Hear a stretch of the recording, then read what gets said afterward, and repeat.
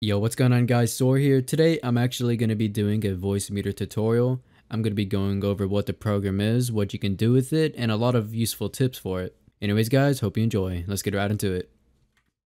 To connect your mic, you're going to be going over to one of these hardware inputs. It doesn't matter which one, they're all going to do the same exact thing, but just for simplicity, I'm just going to keep it on my first input because, you know, I'm only going to be having one.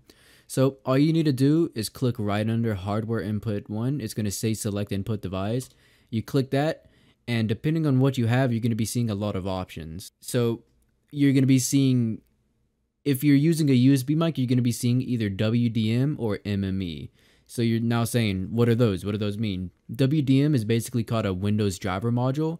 It's another type of audio connection and it, it actually is known for having lower latency than over MME. MME is called Microsoft Multimedia Environment and is pretty much virtually in every PC. But like I said, WDM does have lower latency. But the thing about this program is that it comes stock with a higher latency floor. So I'm actually going to be showing y'all how to reduce that as well. So you should find your WDM mic. For me, it's it's um line one or two in audio air because I'm using a audio interface. You can use an audio interface, but if you are using an audio interface, you're going to be wanting to use the KS option. I forgot what it defined as, but uh, yeah, KS is better for your interface. But yeah, go ahead and choose WDM for your mic. So to do that, it's going to work the same. Then there we go. We got your mic inputted. So what does what? You got all these here. So these are audio streams. Whenever these are activated, that's sending the audio stream into the next channel. So a1 is going to be going to whatever you set it as. If you look up here to the top right of the program, A1 is where you choose your speakers. And obviously I'm going to be using my audio interface, but you're going to be wanting to choose WDM for whatever your speakers are. You can use monitoring speakers or you can use headphones, it doesn't matter. Once that's done, you're going to be having the A1 defaultly on. You should be hearing yourself now. So obviously, if you hear yourself and you don't want to do that, just click off of A1 right here and then you're going to stop vocal monitoring. Next is B1.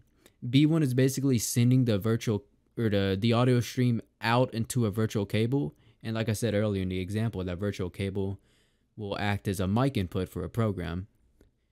Yeah, it's basically sending the processed audio. On the topic of processed audio, you have this. This is what's going to be making your mic sound good for the most part. It varies with every mic, obviously, and it also varies on how you like it, but I usually keep mine up here. As you can tell, when I reset it, you can see how my mic quality is different. Sounds, a, uh, I want to say worse, but it's not bad, but obviously moving this around is going to make it sound better. So yeah, you just fiddle with that. You can just drag it. If you want to reset it, you can just double click it, and uh, yeah, that's how you move it around and uh, get those effects. So once you get your Voicemeeter banana installed, you can actually open up control panel, go to hardware and sound, manage audio devices, and I recommend, here let me show disable devices, I recommend finding Voicemeeter aux input on playback and Voicemeeter aux output and recording and disabling both of them, you won't be needing them. You're only going to be needing I.O. for recording and VAIO for playback. Virtual audio cables. You can go down here to the bottom right where your speaker icon is and you can choose Voicemeeter input. What this is going to do, it's going to be taking your Windows audio.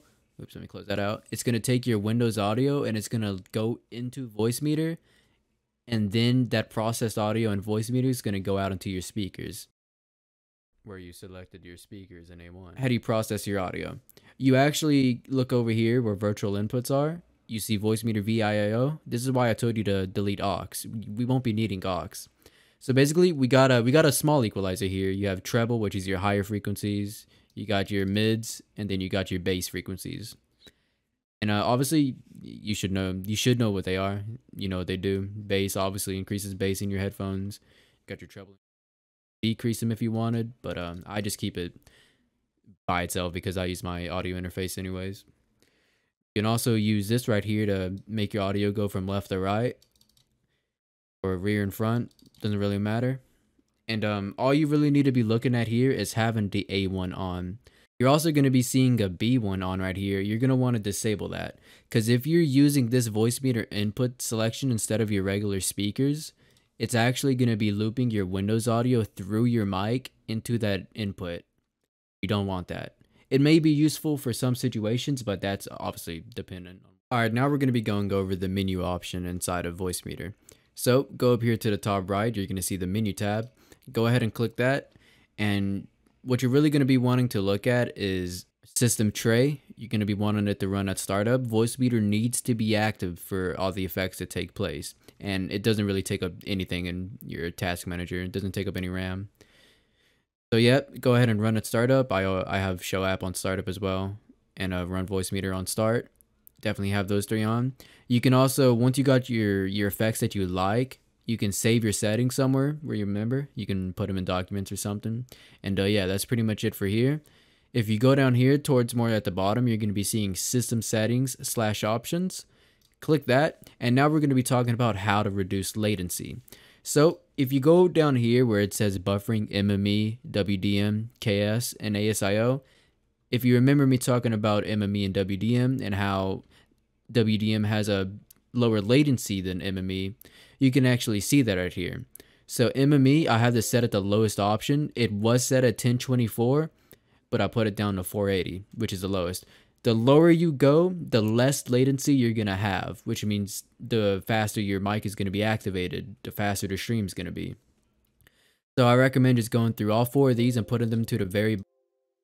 As you can see here, WDM is 128, MME is 480, WDM is faster, and I'm I'm using KS obviously, and WDM and KS are the same speed. But uh, yeah, as well as go over here to engine mode and put that to Swift, and uh, you should be good for this. You got lower latency, should feel better. You can come back over here to A1, listen to yourself. You can actually notice a difference on how fast you pick up yourself, and uh, yeah, it's just really cool. Okay, so now we're gonna be focusing over here at the master section of Voicemeeter we're going to be focusing on the first bar of the physical section and the first bar of the virtual section. Starting with the first bar of the physical section, all right here is going to be your speaker effects, aka A1 up here where you chose your speakers. So if you right click on this EQ here, you actually have a full in-depth equalization chart. And if you don't know how to work with these, you're going to have to look at another video. It's too much to explain because um, it's not it's not hard, but if you don't have any experience on what frequencies does what, then it's going to be hard, you know, obviously, because you don't know what to do. But basically, if you do learn how to use this, you can even go in here and just make your mic sound even way better. But obviously, that that's dependent.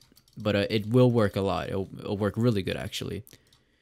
And um, obviously, you got a mute here. So if you press mute, it's going to be muting out sound. And then you have these modes right here. I keep it on normal. It doesn't do anything. And you have your mono converter, which keeps it the same sound on both of your speakers. Now we're going to be going over here to the virtual section.